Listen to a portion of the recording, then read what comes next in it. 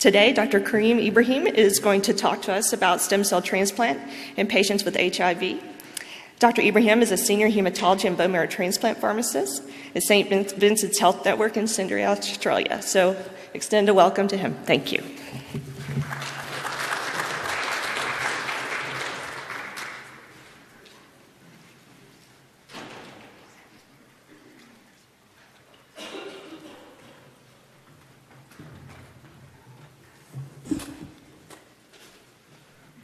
Morning. Um, I would like to thank first uh, the organising committee for inviting me. It's an absolute pleasure to be here and present to you guys. Um, now, I've got a um, fair few uh, number of uh, slides to go through, and it's a um, specialised um, topic and very intense. And I'll try to make it as entertaining as possible. I don't think it's going to be anywhere near as, as entertaining as uh, Jim Lewis's presentation from yesterday. I don't actually have any conflicts of interest to declare. Uh, now, with the objectives of the, um, the presentation, first I'll uh, try to summarise the treatment uh, for HIV-associated lymphoma in the post in the post-combination antiretroviral therapy era. I'll try to invest um, um, some time in this because this is actually quite important to go through before we move to the transplant to understand how we can treat HIV um, patients with hematological malignancies, particularly lymphoma. And, and I'll be referring to uh, antiretroviral therapy, I'll be writing on the screen as CART. Um, this is sort of the new term uh, from the highly active antiretroviral therapy, which is HAART. This is sort of now changed to CART. Um, I'll summarize the use of autologous stem cell transplant for the management of HIV associated lymphomas. I'll also um, examine the current literature on the use of allogeneic stem cell transplant for the management of hematological malignancies in HIV infected patients, and then um, try to discuss and recognize some of the important pharmaceutical consideration and potential drug interactions uh, for HIV patients uh, receiving uh, stem cell transplant. And, and there's actually a lot of drug interactions and pharmaceutical considerations that we need to think of. Now, um, HIV and malignancies have sort of been linked since the early 1980s when um, um, patients with Kaposi's sarcoma sort of um, started to present also with uh, concurrent symptoms of immune suppression, and uh, which was later found to be symptoms of AIDS. Um, and these patients also had nasty pneumonia, uh, which is pneumocystis pneumonia. So HIV and cancer has been sort of linked since the early 1980s. Now, and then there was the rise of the HIV related lymphomas. In 1981, uh, they started to see this primary um, central nervous system non Hodgkin's lymphoma. In, in, 1985, there was actually um, the systemic non Hodgkin's lymphoma was recognized as an AIDS defining cancer. And in 1996, uh, primary effusion lymphoma, and um, a year after that, plasmablastic non Hodgkin's lymphoma were recognized, which is um, particularly common uh, in, in HIV patients. It, it's fairly rare to see it in non HIV patients. But it's not just the AIDS defining cancers, it's actually also another spectrum of non AIDS defining cancers is actually on the rise. And it's important to recognize that in the setting of our treatment uh, is in the setting of treating of uh, those patients, and especially those patients are also living longer. Um, HIV infected patients are increased risk of developing other hematological cancers like Hodgkin's lymphoma. If you look at certain studies, the, the actual increase in the risk of Hodgkin's lymphoma is up to 14 fold. Uh, increase in the risk of leukemias and multiple myeloma. Now, these cancers are not typically classified as AIDS defining cancers, and that's why they're referred to as non AIDS defining cancers. So the incidence of cancer is, is generally high in the HIV patients, and whether it's the non-AIDS defining cancers or the or the AIDS defining cancers, certainly on the rise, and we certainly see a lot more now since uh, HIV patients are living longer. And that suggests that maybe, perhaps, there is a, a link between immune suppression and cancer. But also, it's important to recognize that in the setting of non AIDS defining cancers, the CD4 count does not always have a linear relationship with the risk of cancer. It was always perceived if you get your, your patient's CD4 count above 200, you'll protect them from the risk of cancers. But it's actually not that clear at the moment. In fact, there's a lot of um, cancers occurring in HIV patients even with very good CD4 count. And just to demonstrate that, this is a, uh, a, a, a study that we presented last year at CROI, and we looked at um, 16 patients with HIV associated Hodgkin's lymphoma in our institution. And I just wanted to sort of point out um, a particular. If you look here at the, um, uh, this is the total number of HIV patients, 16, and if you look at the median CD4 count, the median CD4 count is actually above 200 at presentation. And you get uh, a lot of uh, patients who actually have very high CD4 count, up to 970. And 70% of the patient had undetectable viral loaded diagnosis. So these are HIV patients who have very well controlled HIV and still present with cancers. So that's important to recognize that CD4 count does not always have a linear relationship with the risk of cancer. With the treatments of HIV associated lymphoma, now in the pre antiretroviral therapy era, if you had HIV and lymphoma, this was pretty much a death sentence because you couldn't really tolerate any standard or intense chemotherapy. And because of that, he had very poor outcome. And obviously, very short overall survival, very high risk of opportunistic infections because patients uh, didn't get a chance to have any sort of immune recovery after the chemotherapy because the immune system was pretty low and also as a result they had um, a lot of high relapse rate because they couldn't tolerate the standard or high dose chemotherapy which is very important to treat those um, aggressive lymphomas. But in the post antiretroviral therapy era the, the, picture is completely changed. And, and because of antiretroviral therapy patients are better able to tolerate um, standard and intense chemotherapy regimens. And as a result there is a lot of improved outcomes with chemotherapy. And not only that, the actual results in the HIV patients are very similar to those seen in the non HIV patients with lymphoma. And in order to demonstrate that, I'll just go through a couple of slides. This is a, a few uh, studies um, using the rituximab in chemotherapy for HIV associated um, um, non Hodgkin's lymphoma. And I just wanted to note that all of these studies continued um, uh, antiretroviral therapy during the chemotherapy, except perhaps for one, sorry, perhaps for one uh, that I haven't listed here. But most of the studies in the antiretroviral therapy era actually continue chemotherapy with uh, antiretrovirals. And as you can see here, there's various all types of regimens, um, ranging from R-CHOP, R-EPOCH, R-CDE, but you know, the, the, rates of complete remission and the rates of overall survival is pretty impressive. I mean, this is sort of uh, close to what we see in the, in the HIV negative population. And what about Hodgkin's lymphoma? This paper was uh, published um, uh, by Montoto and colleagues, and they looked at 20, 224 patients with Hodgkin's lymphoma treated with ABVD. 93 patients were HIV positive, and I just wanted to point out 94% of those patients were on antiretrovirals with the chemotherapy. And as you can see here, um, there's uh, not a significant difference in progression-free progression survival or overall survival. So results are pretty good compared to the even in the non-HIV patients. But we still have to recognize that the management of these patients are quite complex. Um, the, the, the, the, treatment is frequently complicated with immune suppression. Um, you, you, know, patients are already immune suppressed, you're giving them more chemotherapy, and hence they will have more prolonged or profound neutropenia. Also, if they had uh, opportunistic infections before, these opportunistic infections might come back, and drug interactions. And, and certainly, drug interactions is an area of interest to um, many people uh, treating HIV patients. And that leads us to the question should we continue antiretroviral therapy during chemotherapy or should we cease it? Now, and this is, becomes very important when we talk about transplanting afterwards. Now, some clinicians recommend continuation of both antiretrovirals and chemotherapy, and some don't.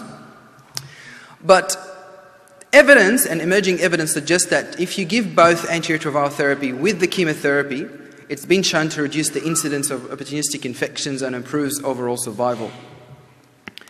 And this is just, I've listed some um, trials that um, used antiretroviral therapy with the chemotherapy and some of the outcomes. Um, and uh, there's a few slides here, and uh, they range from sort of a very small number up to this recent review, systematic review of the, this is probably the biggest systematic review of HIV patients, uh, where they looked at 19 prospective clinical trials and more than 1,500 patients, and they've noticed that the concurrent use of antiretrovirals with chemotherapy was associated with improved CR rates and a trend towards improved overall survival. And certainly with the other, with the other um, studies, you can certainly see the, that the, there is definitely better outcomes with patients who continue antiretrovirals with chemotherapy. So I think the verdict is if you can do it, it's, it's probably important to try to continue the antiretroviral therapy with the chemotherapy at the same time. But obviously, we have to look for drug interactions, and, and the likelihood of drug interactions is actually quite high. And these are primarily the pharmacokinetic interactions because protease inhibitors, which is a, an important class of antiretrovirals that we use in order to um, control HIV uh, infection in our patients, it's got a lot of drug interactions. And um, they're, they're, very infamous as sort of uh, inhibiting the CYP3A4, and, and that can lead to um, increase the toxicity of the, the chemotherapy agents and leading to uh, delays, treatment delays, and, and increase the side effects. On the other hand, non-nucleoside reverse transcriptase inhibitors, which is sort of another class of antiretrovirals where we, we, we commonly use, they can induce the metabolism of a lot of chemotherapy drugs, and hence they can reduce the efficacy and can compromise treatment. And many chemotherapy drugs are metabolized through the CYP pathway, as you know. And it's important to remember it's not just the PK drug interactions, it's also the PD drug interactions, pharmacodynamic drug interactions. Drugs like zidovudine or uh, AZT, um, it, has got a, a, tendency to cause sort of generalized cytopenias, so neutropenias and, and leukopenia and that can obviously add to the myelosuppressive risk of chemotherapy. So this is not a particularly pharmacodynamic interaction, but it certainly is a pharmacodynamic interaction, and we certainly avoid uh, AZT during chemotherapy. And all you need to do here is just look at the chemotherapy. This is sort of the, some of the common chemotherapy agents that we use in, in, um, in, in the hematology setting. And um, as you can see here, that uh, it's sort of metabolized primarily by the CYP3A4 pathway, and definitely there is an increased risk of interaction with protease inhibitors and non-nucleoside reverse transcriptase inhibitors. In particular, I just wanted to point out the significant interaction between vinca alkaloids and um, ritonavir, or which is um, a pharmacokinetic booster protease inhibitor, which we use in order to boost the other protease inhibitors. And the other pr protease inhibitors too, they can definitely increase the CYP3A4 interaction and can cause significant interaction with vinca vinca. So that's something I would definitely want to avoid if we're giving both antiretrovirals um, and chemotherapy to our patients. So, looking through the literature and, and also looking at uh, sort of, uh, we, we, did, a, we did a, a, study looking at 53 of our patients uh, with lymphoma, and we, we presented that at ASH last year. And we certainly um, feel that the, and we found that the protease inhibitors um, based antiretroviral therapy were significantly associated with more treatment related toxicities to other antiretrovirals that didn't have protease inhibitors. And that's, again, it's probably because of this inhibition of the, meta- uh, of the metabolism of the, chemo- of the chemotherapy agents causing increase of toxicity. And we've noticed that patients on PI based regimens or protease inhibitor based regimens were less likely to complete the stage appropriate chemotherapy treatment. And that's extremely important because if you want to treat patients with lymphoma, you want to give them the chemotherapy on time and a full dense chemotherapy.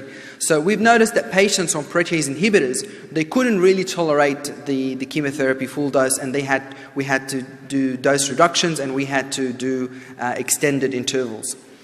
So, and we, we, certainly from our, from our experience and others also, we, we, we say that protease inhibitor based regimen should be used with extreme caution with vinca alkaloids. And I personally like to avoid um, them completely if, if possible, or we've got to reduce the dose of vinca alkaloids. Um, and definitely zidovudine, and this is mainly because of the increased risk, risk of neurotoxicity, um, constipation, bowel obstruction, peripheral neuropathy, We've seen a lot of those in patients on protease inhibitors and vinca alkaloids.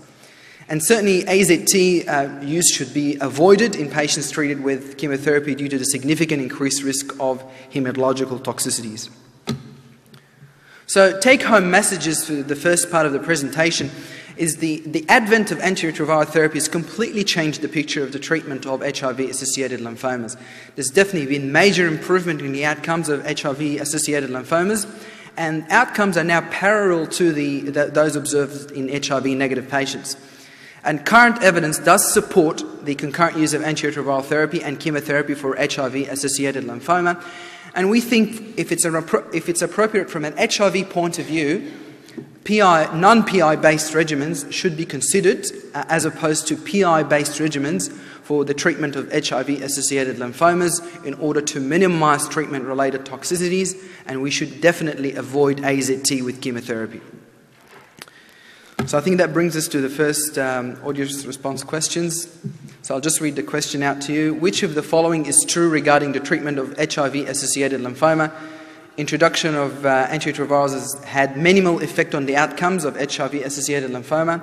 Zidovudine or AZT should be used concurrently with chemotherapy for HIV associated lymphoma. Current evidence supports ceasing antiretrovirals during chemotherapy for HIV associated lymphoma. Treatment outcomes of HIV associated lymphoma are now similar to those observed with HIV negative patients.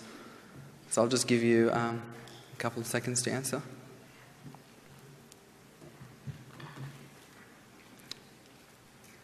All right.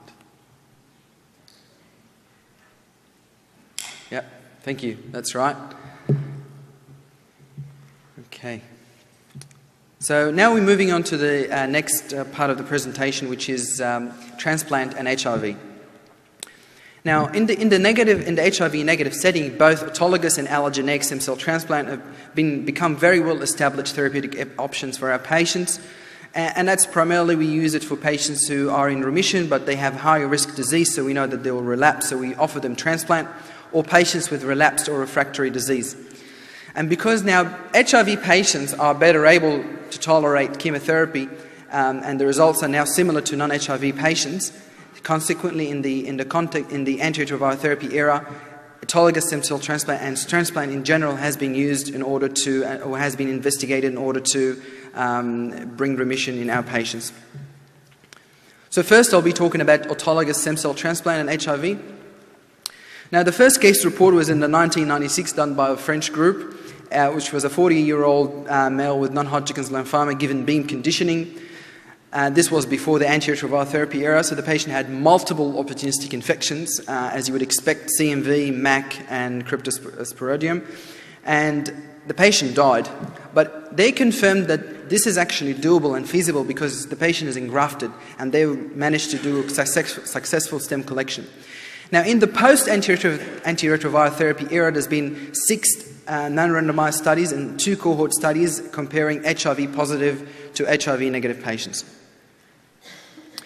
I've listed some of the studies that um, used autologous stem cell transplant for the use of for the treatment of HIV-associated lymphomas. Now that included uh, both non-Hodgkin's and Hodgkin's lymphoma, and as you can see here, the number ranges from 20 up to 68 in the, done by the BM, e, uh, EBMT group.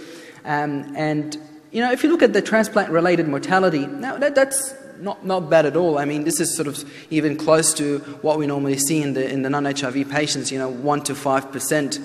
And certainly I know that uh, the, the, percentage, uh, as centres are getting better at doing autologous stem cell transplant and sort of moving closer to the 1% mark, that's still pretty good.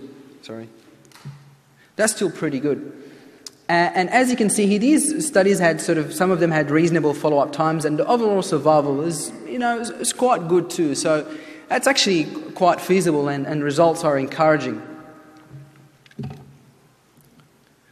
Now, if you look also at the same studies, um, a lot of these studies, in fact, most of them intended to continue antiretroviral therapy with the conditioning. Now, the conditioning ranged from CBV, BEAM, uh, even uh, the use of busulfan um, um, sometimes.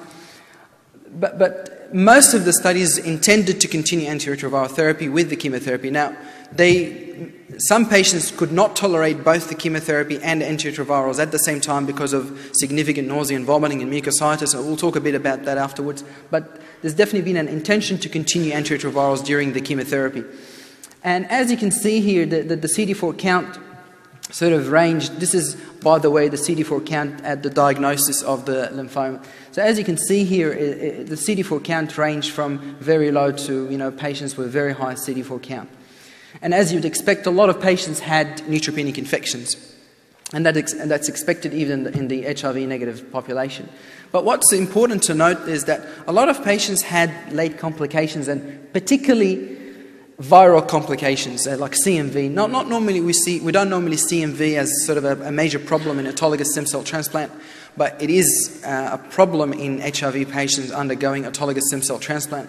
So um, uh, most of these in viral infections were not fatal, but it's certainly something that we need to be very careful when we're transplanting out patients um, in terms of post-transplant surveillance and monitoring and the management of making sure that your patient's on appropriate prophylaxis. It's even more crucial for HIV patients. And during these studies, there was not a significant problem with uh, engraftment. So patients engrafted normally, except for one patient who, were on, uh, who was on AZT and uh, had prolonged neutropenia, and when they stopped the AZT, the, the patient engrafted nicely. So it, it is feasible. And um, this is our experience with the uh, autologous stem cell transplant at St. Vincent's Hospital. We've done actually uh, a few. We've done 12 autologous stem cell transplant for various indications, and, um, and we had no treatment-related mortality. Uh, and all patients continued the antiretrovirals during the conditioning chemotherapy. Uh, six patients relapsed, two salvaged by allogeneic stem cell transplant, and two um, multiple myeloma uh, were salvaged, salvaged by salvage treatment. We had one case of bacterial endocarditis and one case of PML, and uh, surprisingly, they both resolved, especially with the PML, which is quite nasty, um, uh, opportunistic infection to get. Um, uh, and uh, the non treatment related deaths is listed here. We've actually had one unfortunate uh, case of AZT. The patient was not on AZT during transplant, but uh, about six to eight months it was changed to AZT, and the patient developed uh, um, AZT related lactic acidosis, which is a nasty side effect of AZT. One developed second malignancy, and sorry, and um, um, with, with, Hodgkin's lymphoma, and three patients relapse. And overall survival tend to be from one to eight years, which I think is, is also a pretty good result. Now, if you're looking at some of the cohort studies that compared HIV to non HIV patients, and this is the study by Amrita Krishnan from the City of Hope, uh, comparing overall survival, that, that's pretty non significant. I don't think you can get any non more non significant than that. But the outcomes are quite similar in terms of overall survival comparing HIV positive and non HIV patients. Now, just looking at um, the um, the study, this study by Amrita Krishnan, and comparing the two arms, you, you notice that um, there's not a difference in, uh, in engraftment. In, in, fact, it's probably a bit better in the HIV arm. And, but there is a double number of infections, double number of infections, 28 versus 14. Now, whilst none of the, these patients died from these nasty infections, but it just sort of highlights that, um, that these patients are probably at more risk of infections compared to the normal HIV patient. And I think it's fair to say that. And this is certainly the experience we've sort of encountered.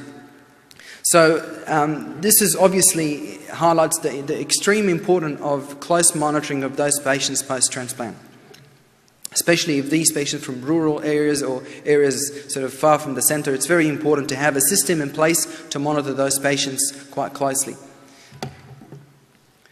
And what about immune reconstitution? And the same study by Amrita Krishnan, um, she, they looked at um, the immune reconstitution. Sorry if you can't see this clearly, but they looked at the immune reconstitution post the, uh, the transplant, and they've noticed that most patients were sort of started to sort of have good immune reconstitution around six months, and increased sort of uh, around one year, and certainly by two years, um, it was sort of in the normal range. And this has certainly been our experience. Our experience at St Vincent's Hospital in Sydney has sort of been more towards the one year mark.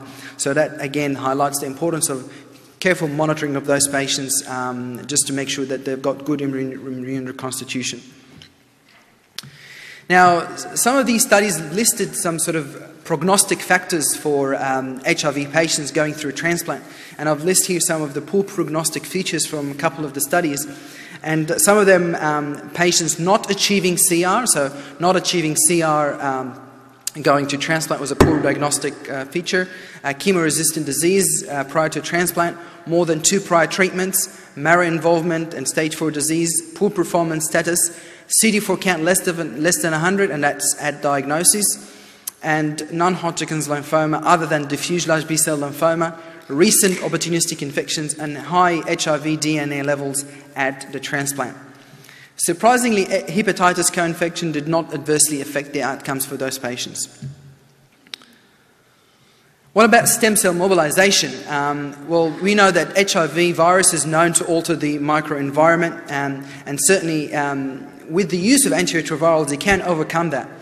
Um, so, because antiretrovirals will help HIV patients regain some of the normal hematopoiesis, and it's likely to improve the cell recovery, uh, cell stem cell function recovery if HIV viral load remains suppressed.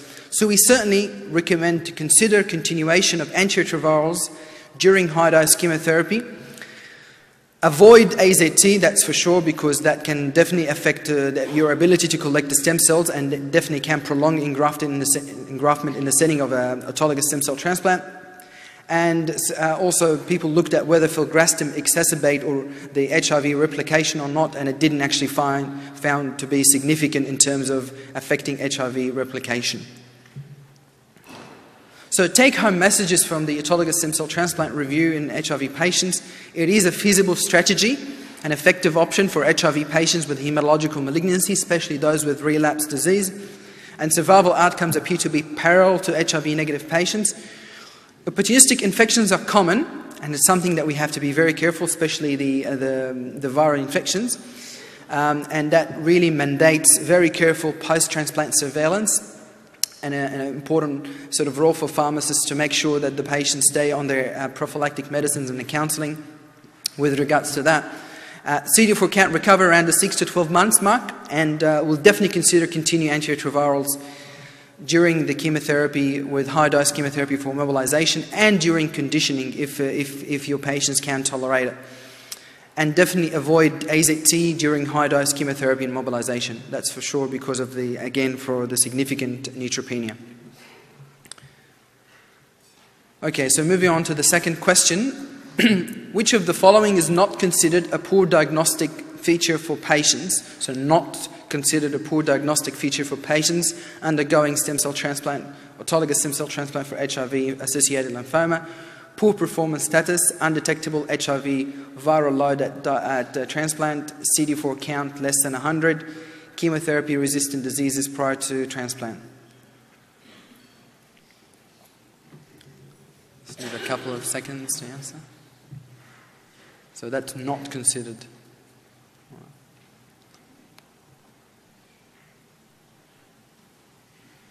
Yes, thank you. That's right. It's always good to get the answer right. Okay. Okay, now moving on to the next part of the presentation, which is the use of allogeneic stem cell transplant. now, the, the, the, use of allogeneic stem cell transplant for HIV-associated hematological malignancy obviously poses sort of more challenges. Um, you've got the risk of chronic immune suppression, you've got the risk of opportunistic infections because of the immune suppression you're using, the complex drug interactions, not just the chemotherapy, but also the immune suppression and calcineurin inhibitors and so forth. But the, there has been encouraging reports with the solid organ transplants that sort of allayed some of the concerns regarding uh, chronic immune suppression. And these patients, in fact, can have good immune reconstitution. Um, HIV viral load could still be controlled with uh, antiretrovirals, and that's extremely important to try to control um, your, your HIV, the, the, the, viral load for HIV patients during the treatment because as we saw from the, the lymphoma studies, it's certainly been uh, linked with better outcomes and less opportunistic infections. And um, the drug interactions due to the CYP450 inhibition by certain antiretrovirals were managed by dose adjustment of calcineurin inhibitors. Um, so we've looked sort of, sort of, looked at some of the literature case reports describing allogeneic stem cell transplant. There's certainly been increasing reports uh, since um, the introduction of antiretrovirals to increase um, reports of successful allogeneic stem cell transplants in HIV patients. And especially there's been an increased uptake since the introduction of the reduced intensity conditioning. There's little data on the immune reconstitution post-transplant, but it appears not too different from the HIV negative population. And almost all cases continue or intend to continue antiretrovirals and um, during chemotherapy and engraftment or during transplant, and engraftment does not appear impaired. And opportunistic infections do not also appear increased. And I'm not going to talk about the, you know, the cure of HIV using stem cell transplant, but I've just put that out there. It may have a secondary benefit in reducing the pool of latent HIV infected lymphocytes.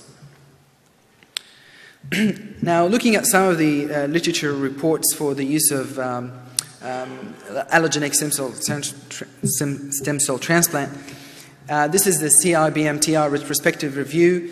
And as you can see here, they've, uh, they've listed some of the uh, cases they've done the pre in the early days before the, the introduction of antiretrovirals. Um, and definitely, if you see here, the, the outcome is, you know, quite poor.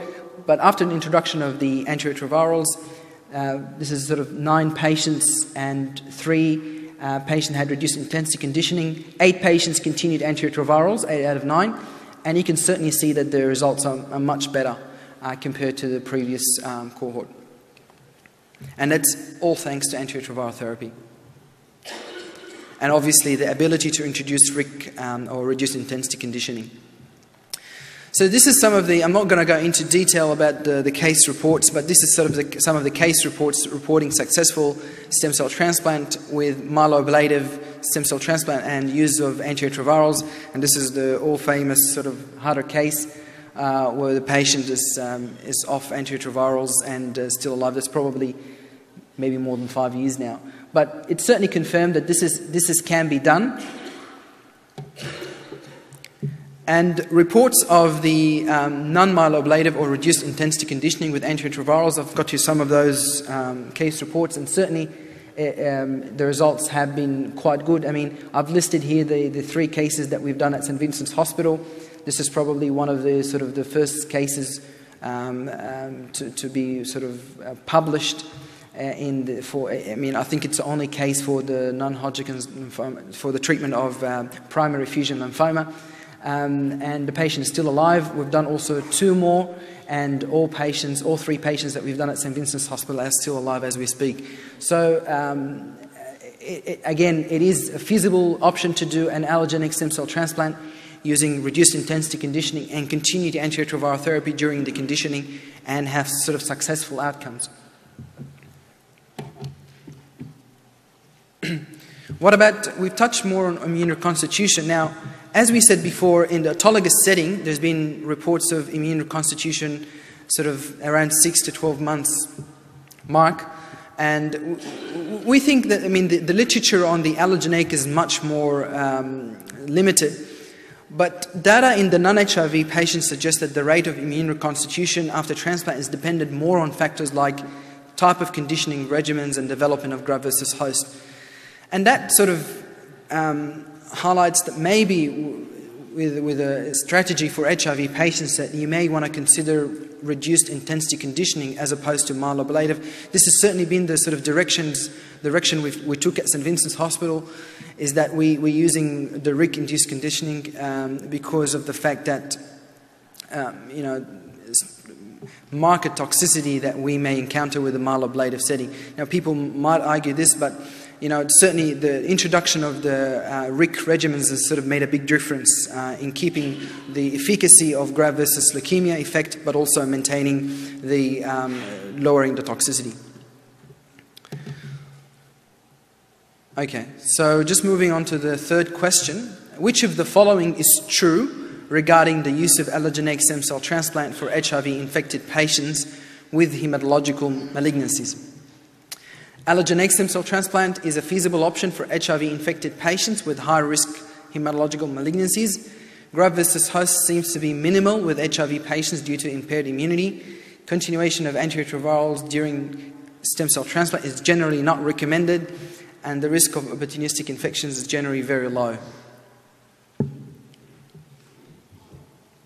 So it might be a bit of a confusing question, this one.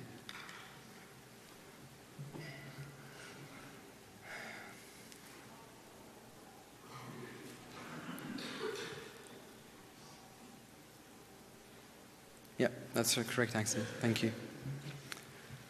A is the correct answer.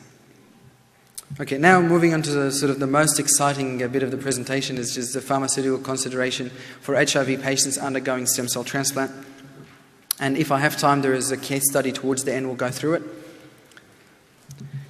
Okay, so what about antiretrovirals during uh, stem cell, uh, during the conditioning or during the process of transplant? Now, there's no evidence to say that giving antiretrovirals during conditioning adversely affected transplant outcomes.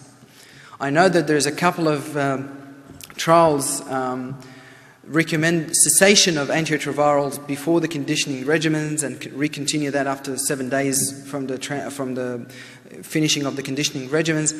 But there's actually no evidence for that. I mean, I know that drug interactions sometimes can be hard to sort of navigate through, especially with antiretrovirals, but there's, there's no evidence that adversely affects the outcome. So try to continue antiretrovirals as much as possible, but watch for drug interactions. Um, AZT, as we said before, should be avoided in patients undergoing stem cell transplant due to significant increase in hematological toxicities and potential delay of engraftment. Protease inhibitors are non-nucleoside reverse transcriptase inhibitors, the both substrates and potent inhibitors or inducers of the CYP450 system. So, especially with drugs like ritonavir, which is probably the strongest uh, CYP3A4 inhibitor on the planet, and probably the universe. but um, if you want to see a striking interaction, put patient on tacrolimus on ritonavir. And this is when you start seeing uh, tacrolimus once a week or once every two weeks. It's like a tacrolimus sparing uh, agent.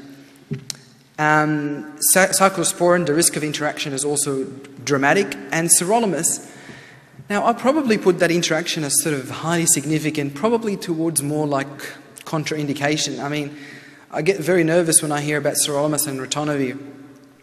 But our experience with cyclosporin is that we've if, if we had a patient on protease inhibitors, they're coming for transplant, we slash the cyclosporin dose by 50%. And we even give it once a day. Because we've noticed that even if we slash the dose by 50% and give it twice a day, we still have very high trough levels. So, from our experience, we now give a 50% dose reduction and give it only once a day, and we still actually have to adjust downwards. It's extremely um, striking interaction. So that's something that um, we've really got to be careful of. And if you look at the actual, this is a slide just sort of gathered for you regarding the different metabolism routes for different antiretrovirals. Sort of this is tenofovir uh, and 3TC and abacavir are sort of the, the, the nucleoside reverse transcriptase inhibitor class. They don't actually have any potential interaction, as in PK interaction because they're mainly sort of um, um, renal excreted and abacavir is hepatically excreted, but there's, there's minimal effect on the CYP3A4. But as you move on to the non-nucleoside reverse transcriptase inhibitors, particularly efavirenz, it's a very potent inducer of the CYP3A4. So if you, you would expect if you put patients on cyclosporin and tacrolimus or itraconazole or voriconazole that the efavirenz will just eat it away. Um, Atazanavir, darunavir, ritonavir, these are the protease inhibitors, and they definitely are very strong inhibitors of the CYP3A4, particularly the ritonavir.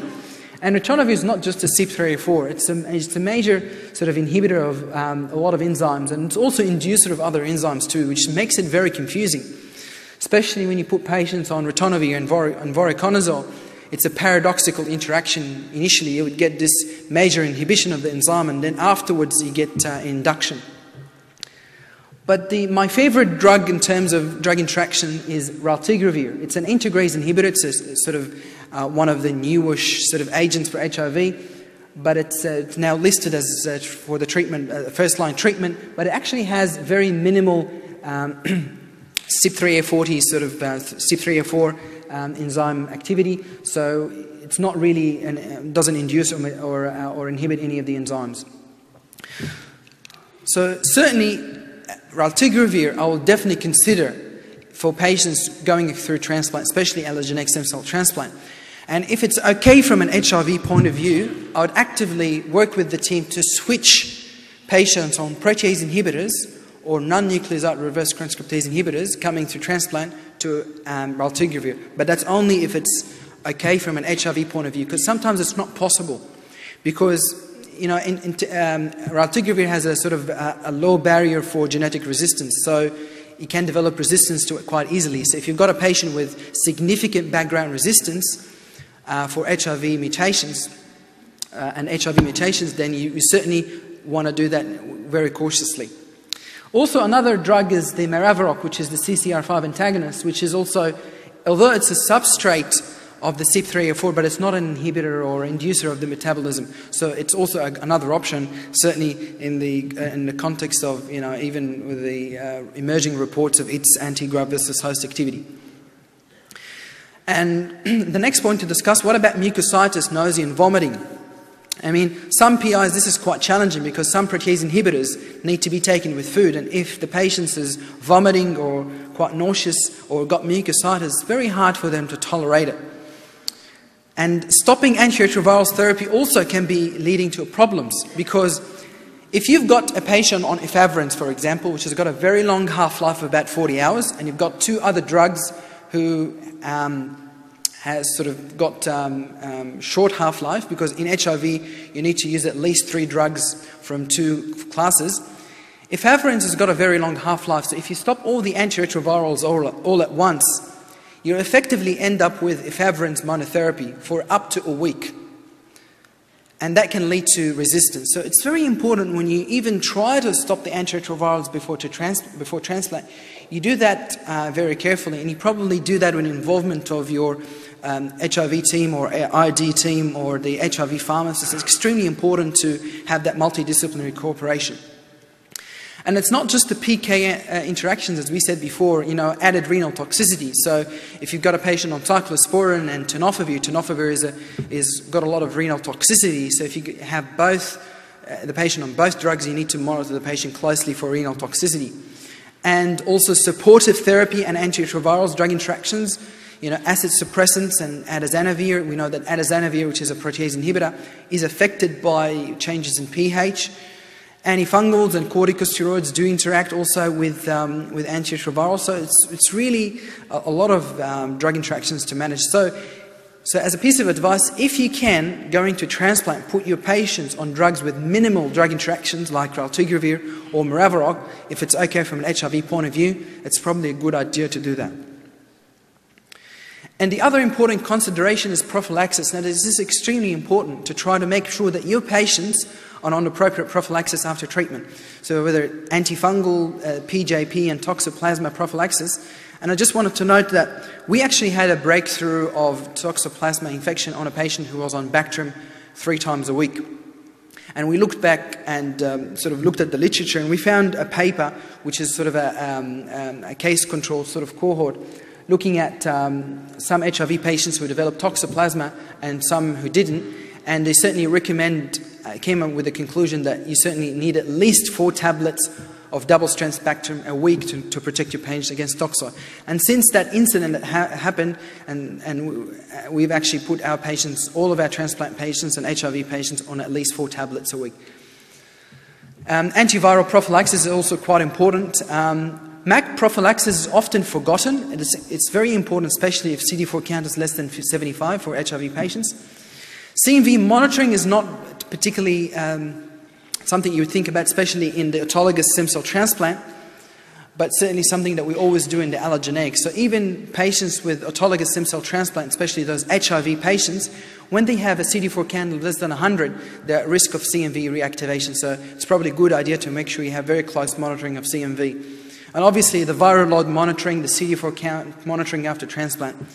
And there may be a role for therapeutic drug monitoring of antiretrovirals because we do always think about the monitoring of other drugs, but we can actually do um, uh, therapeutic drug monitoring for antiretrovirals, um, and I know that a lot of centers in the US and, and Canada also do that.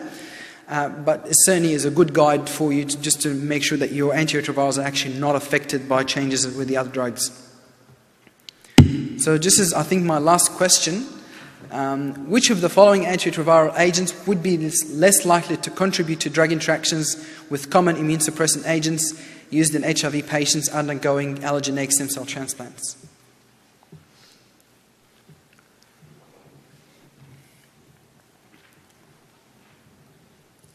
Okay. Yes, that's right. Thank you. Okay, now I'm not sure if I have time to go through the case study, but I'll just go through it quickly just to highlight a very sort of quick couple of points. So we had a patient who, a 56 year old patient, and um, he had um, AML secondary to lymphoma treatment, and the patient um, had good performance status, very good control on HIV, and the patient uh, was on uh, a treatment regimen that included um, tenofovir and tricytidine and um, lopinavir ritonavir, which is Kaletra, twice a day. And the patient had very good CD4 count um, and good HIV um, control and no AIDS diagnosis. Initially, he elected not to have a MUD, but unfortunately, he relapsed afterwards, and then we re-induced him, and then the patient was then brought for um, uh, transplant with uh, uh, fludarabine, melphalan, RIC, RIC bone marrow transplant.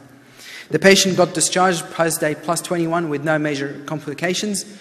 I just wanted to highlight he actually only needed 20 milligrams once daily of cyclosporin, and we normally see our patients leaving uh, sort of uh, the ward with with sort of much more than that, so usually 150 twice a day or even more.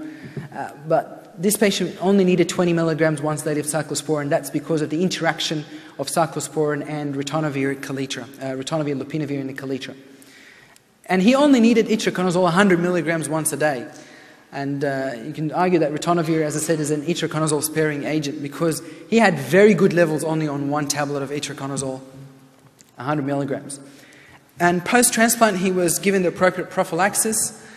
He did develop a bit of versus host, which is settled with prednisone, and the viral load was consistently not detected.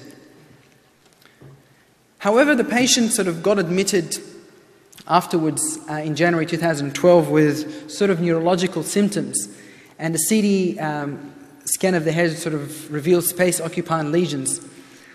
And the, there was negative CMV PCR, uh, negative toxoplasma serology, the patient was adherent to the, the, the Bactrim, but he was only taking three times a week, one tablet, double strength, three times a week, and, but he continued, uh, condition rapidly deteriorated. So the team has decided, so this is uh, to do an MRI, and this is sort of the, um, they showed multiple rim enhancing lesions um, in, in both hemispheres. And the team decided to just to get to the bottom of this, they did a, um, a biopsy of the left frontal lesion, and uh, they confirmed the diagnosis of cerebral toxicity. This was actually quite interesting because the patient was on Bactrim th- three times a week. The patient had a negative tox- toxoserology, but when they did a PCR on the actual uh, biopsy, it was positive for toxo. And the patient was put on uh, um, triple therapy for toxoplasma, and the patient has improved. And, and also to note that he'd also developed herpes zoster despite prophylactic Valtrex and had a chest infection. So he had a, quite a lot of infections. But despite that, he had excellent recovery and discharged uh, to rehab after two months. And the patient, I saw him actually only a few weeks before I came to, to before I flew over here, and he was actually doing pretty good and he's walking normally. So I just put this case study to highlight two things. Firstly, is the drug interactions that you, we certainly has, have to reduce the, the doses of cyclosporin and itraconazole dramatically for patients on, on, uh, on uh. And unfortunately, with this patient, we, we, we didn't have time to uh, switch his antiretrovirals before transplant, and he also had significant background resistance, so we couldn't switch him to raltegravir. Uh, but also, I wanted to highlight the fact that this may be, we have to be very careful about our toxo and prophylaxis because we had a breakthrough um, case here, even though the patient has been complying with his Bactrim thrice weekly, which is why after this case we sort of increased our prophylaxis to four tablets a week. So in conclusion, um, autologous stem cell transplant is an acceptable and safe strategy to salvage patients with relapsed resistant non-Hodgkin's or Hodgkin's lymphoma Results are similar to the non-HIV infected population. There's limited data for allogeneic stem cell transplant in the post-antiretroviral therapy era, but certainly reasonable early results justify its continued use, and perhaps more of the non-myeloablative protocols we should use to minimize toxicity. Immune reconstitution is similar to non-HIV patients for autologous stem cell transplant and appears satisfactory for allogeneic stem cell transplant. However, opportunistic infections may be more common, mandating careful post-transplant surveillance. Antiretrovirals may be continued to help optimize immune recovery, but watch for drug interactions. So I think the best approach in managing those patients is to have a multidisciplinary cooperation between oncologists, hematologists, HIV physicians, and clinical pharmacists with both experience in oncology and HIV is important and needed to ensure that HIV patients with malignancies or presenting to transplant are suitably managed. And just, just a photo of beautiful Sydney and the World AIDS Day. This is a Sydney Opera House. And uh, that's the beautiful uh, Harbour Bridge.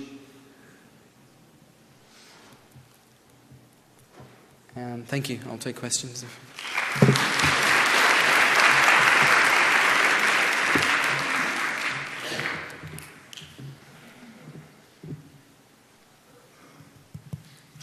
Could you please comment on the interaction between the newer FDA-approved drug Stribild, um, elvitegravir, and the strong inhibitor cobicistat, and uh, potential drug interactions with chemotherapy? Yes, thank you. I mean, uh, we don't know much about it as yet in the, in the clinical setting. We had one patient um, uh, presenting um, for treatment. Now, if you look at the cobicistat, they, they say it's a very strong CYP3 and 4 inhibitor. But I've sort of got a feeling after sort of looking at it, it's not as strong as ritonavir. But certainly in the context of the, the treatment, especially with uh, HIV-associated lymphomas, I would certainly be more sort of worried about the interaction. So I would definitely consider if there is um, an opportunity to switch the patient off the cobicistat, to do that. Otherwise, I'll just recommend a dose reduction of chemotherapy. Now, when I say dose reduction of chemotherapy, that's obviously mainly for HIV associated lymphomas, and we don't actually have any guidance on how to reduce the dose by. So that's why I'm always for switching the patients off that interacting agent if we can, from an, if it's if it's doable from an HIV point of view, rather than dose reduction of chemotherapy, especially in the curative setting. You don't want to be reducing your doses of chemotherapy. Now, rilpivirine, that, did you ask about rilpivirine also? Oh, okay. Rilpivirine is, is another uh, non-nuke, and it's not as a strong in, inducer of the CYP2B6 as the efavirenz. So we had a patient actually on um, uh, who we continued, and he was on CODOX-M for Burkitt's lymphoma. The patient went into complete remission and we'll hopefully we'll publish that case soon. But uh, uh, it's not a very strong in, uh, induction sort of potential, so I would continue it. Hello, Kelly Cross from my Cleveland Clinic. Thank you so much. This is a really interesting topic. Thank you. We've uh, transplanted one HIV patient who was an auto, and we were able to switch to raltegravir, as you suggested. Yeah. Yeah. I'm curious about your case study, yeah. um, where you said that you couldn't switch him off, and I think you said you used fludarabine busulfan if you... No, uh, fludarabine and melphalan. Oh, and melphalan. Okay. Never mind then. Thank you so much. Now, the, the, interaction with busulfan, if you want to ask about, do you want to ask about busulfan and ritonavir? Uh, yes, yes, that's what I was thinking. So, Thank you. There is, again, there's no evidence um, or case reports or literature to suggest what is the interaction between busulfan and ritonavir, but I can tell you that uh, it's probably, I don't think it's that significant because busulfan, although it has some sort of CYP uh, metabolism, I don't think it, it is that significant. Would I switch a patient uh, on ritonavir if he's receiving busulfan? Would I switch the patient on ritonavir? I probably would do it anyway if I can. But if I can't, at least we have the TDM monitoring for busulfan and we can monitor toxicity. So that's something that uh, we do at our institution too. We monitor the busulfan and we adjust the, the PK. Um, I just wanted to ask a question about um, the auto patients. Yeah. If you'd had any patients who'd failed to mobilise, and if you did, if you'd consider using plerixafor in those yeah. patients, as it did start its life as a HIV investigational drug. Yes, oh, that's an interesting question. I, uh, uh, and thank you for that. Look, I, I haven't had a case of plerixafor as yet with HIV patients, but um, I don't see any problems in actually giving it. I don't think there is a, a major um, drug interactions. But uh, it's always easy to say that when you don't actually have an, a sort of a solid evidence and you haven't done it. But um, um, yeah, I, I, would, if I have if I had an HIV patient who failed to mobilize, I'll definitely recommend plerixafor. I mean, this is pretty good because you know some of the HIV patients who, uh, if you look at the literature, um, um, they looked at all the HIV patients who um, went, underwent stem cell mobilization, and about 23% of them actually failed to mobilize. So that's a significant number. So I can certainly, if I've got plerixafor, I'll use it for that patient. Thanks for a great presentation. I'm David Samuel here from Medical City Dallas. Uh, what is your experience with nocardia, CNS nocardia in this patient population, if you had any? And what recommendation would you have for a duration of treatment in this uh, category of patients? And would it be different in patients that don't have HIV? Thank you. That's a pretty hard question to answer. Well, actually, haven't had any uh, problems with nocardia, even in the bone marrow transplant setting. Um, in our hospital, we had a couple of patients with solid organ transplants with nocardia infection. Uh, uh, I, I, I, can't really comment on the duration because I don't have much experience with it, but I know that our ID physicians do recommend the continuation of nocardia treatment for up to six months post transplant. I think it all depends on your immune reconstitution. In a setting of HIV patient, if your patient has still very low CD4 count, i.e., less than 200, I'll definitely continue treatment or I continue prophylaxis. I'll be very nervous about stopping treatment for serious infection if the patient had a CD4 count of less than 200.